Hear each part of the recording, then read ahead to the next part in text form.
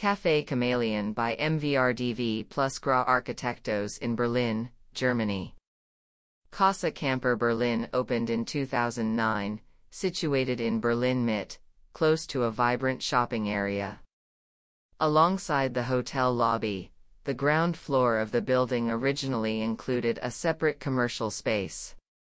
Camper approached MVRDV and GRAS Arquitectos to design a new concept for a lobby, retail showcase for camper shoes, and restaurant that would better align with the brand's strong design reputation. The occupancy patterns of the three programs are very different, meaning they are unlikely to be busy at the same time. There was therefore an opportunity to combine all three programs in a single room, creating a flexible space that could adapt throughout the day, as well as for future needs, taking advantage of synergies between the different functions.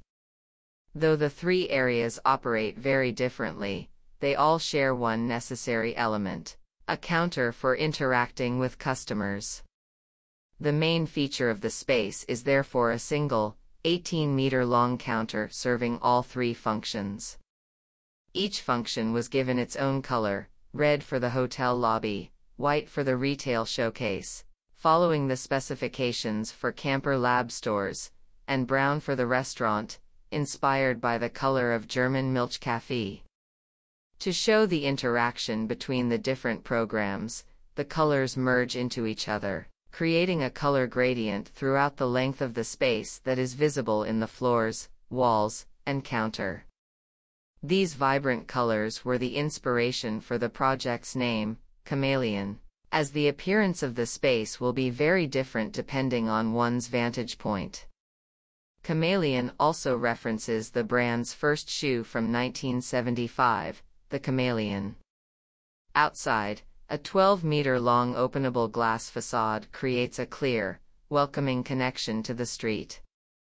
Inside, the color gradient is achieved with different materials and in different manners, from resin color panels in the counter to printed wood for the walls and cement based floor tiles, mixed with different ratios of red, clear, and brown recycled glass, making use of a traditional technique from Mallorca, Camper's hometown.